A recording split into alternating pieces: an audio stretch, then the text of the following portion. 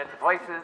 One minute. Hey, uh, thanks, Bruce. Uh, guys, the live show, we're here. Oh my god, I am fully turned, y'all. Hey. um, hey guys, um, I know this might be cheesy, but before going on stage, I like to do a quick group prayer with my cast. Would you guys be down? Um, That's not really. Okay, why not? Sure. Awesome. You guys are the best. Okay, let's do it. Hand, hand, hand. Okay. Oh Lord, we offer these words of prayer to you. Is this from Corinthians? Ow! Retro satananum quo, mala veneno vivendo. Almighty Lord Satan, we cast ourselves into thine arms and place ourselves under thine all-powerful protection. You know, we should probably get to places. Unleash vengeance upon those who seek our destruction and render them powerless and devastated.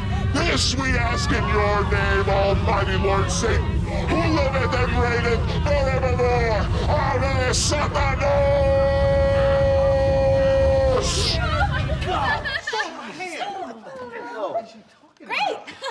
Thanks, guys. Let's do it. Oh, um, and if you guys get nosebleeds, don't freak out. It's a good thing. That just means the big guy's watching over you.